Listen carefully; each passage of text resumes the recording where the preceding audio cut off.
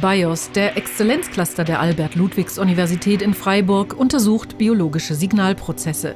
Viele Erkrankungen werden durch defekte zelluläre Signalwege hervorgerufen. Die Forschung in diesem Bereich entwickelt sich rasant. BIOS verknüpft die starke Freiburger Signalforschung mit einer neuen Strategie, von der Analyse zur Synthese. Die analytischen Biowissenschaften zerlegen Systeme in einzelne Bestandteile und untersuchen deren Zusammenhänge. Im neuen Forschungsgebiet synthetische Biologie geht es um das Zusammensetzen und Modellieren von bereits identifizierten Bausteinen. BIOS übersetzt die Erkenntnisse der einen in die Anwendungen der anderen Disziplin und kann so neue Signalwege zusammenbauen. Im Labor von Professor Reth, dem Sprecher des Clusters, wird untersucht, wie biologische Signale in Immunzellen entstehen, wie sie verstärkt und prozessiert werden. Der renommierte Wissenschaftler erhielt unter anderem den Leibniz-Preis und ist für seine Entdeckung eines Leitmotivs bei der Signalentstehung in Immunzellen gerade erst mit dem hochdotierten Schering-Plau-Preis geehrt worden. Als Initiator von BIOS kennt er die besonderen Qualitäten des Clusters genau. Wir suchen einen spielerischen Umgang mit Signalprozessen.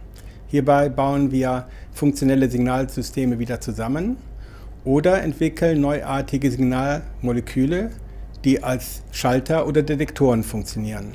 Die Juniorprofessorin Dr. Le Caudet forscht an Zebrafischen. Beim Zebrafisch gibt es einen Zellverband, der während seiner Entwicklung zum Wahrnehmungsorgan durch den gesamten Fisch wandert. Dr. Le Caudet will wissen, welche Signalprozesse diese koordinierte Fortbewegung regulieren.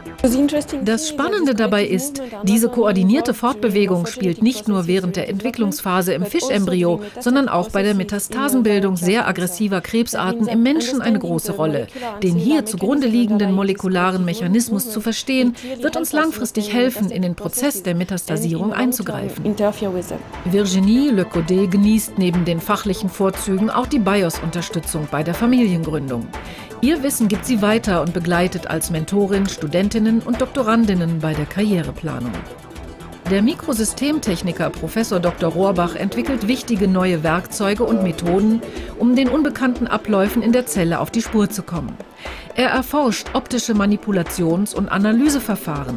Mit selbst entwickelten laserbasierten Mikroskopieverfahren kann er Strukturveränderungen in lebenden Zellen beobachten und erstmalig dreidimensional vermessen. Durch Lichtimpulse manipuliert er die Zellen. Dabei interessieren ihn deren Reaktionen auf bestimmte Signale. So werden Effekte von Arzneimitteln, Objekten oder Oberflächen auf das Zellsystem exakt bestimmbar. Wir untersuchen neuartige Mikroskopieverfahren mit denen wir mehr Details in Raum und Zeit erkennen können, aber auch Methoden, wo wir aktiv mit Lichtkräften in biologische Geschehnisse eingreifen können. Und damit untersuchen wir die Nanomechanik der Zelle. Wir kooperieren mit Biologen, Chemikern, Mikrosystemtechnikern und Informatikern.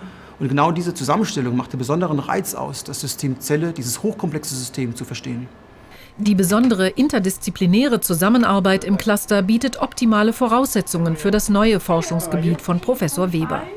Die Universität Freiburg richtete für BIOS eine Professur in synthetischer Biologie ein, als erste Universität in Deutschland. In enger Verbindung mit den modernen analytischen Methoden setzt Professor Weber innovative Techniken der synthetischen Biologie ein. Das Verständnis von Proteinen als molekulare Werkzeuge bildet für ihn die Brücke zur Chemie, Medizin und den Ingenieurwissenschaften. Hierdurch können wir einerseits natürliche Signalwege in Zellen besser verstehen, andererseits können wir aber auch vollkommen neue Signalwege herstellen. Mit diesen komplett neuen Signalwegen können wir neue Wirkstoffe gegen antibiotikaresistente Bakterien entdecken, um somit Patienten zu helfen, die mit herkömmlichen Medikamenten nicht mehr behandelt werden können. Unser anderes Ziel ist es auch, die Lebensqualität von chronisch Kranken zu verbessern, indem wir neue Strategien entwickeln, um Medikamente effizienter zu verabreichen. Die Kreativität und starke Teamorientierung von BIOS spiegelt sich auch in den Aktivitäten der Studierenden wider. 2007 startete die BIOS Nachwuchsschmiede als erstes deutsches Team überhaupt beim iGEM-Wettbewerb am Massachusetts Institute of Technology, dem MIT in Boston. Bei diesem weltweit größten Wettbewerb für synthetische Biologie holten die jungen Forscherinnen und Forscher dreimal in Folge Goldmedaillen. Ja, die Atmosphäre hier im Labor Christian Müller ist eine sehr offene und sehr entspannte Atmosphäre. Das ist besonders für uns Studenten ähm, sehr toll, eben weil wir die Möglichkeit haben, uns selbstständig ähm, Projekte zu erarbeiten, wie das ist zum Beispiel in unserem iGEM-Projekt dieses Jahr passiert, dass wir mit einer Gruppe von Studenten äh, selbstbestimmt ein Projekt äh, geplant und ausgeführt haben. Neuartige wissenschaftliche Strategien und eine dynamische Organisationsstruktur, kraftvolle Programme zur Frauen- und Nachwuchsförderung und das Zusammenspiel der unterschiedlichen Fachkulturen machen BIOS zu einem lebendigen Forschungsverbund. Freiburg schuf mit BIOS ideale Bedingungen für Signalforschung auf höchstem internationalem Niveau.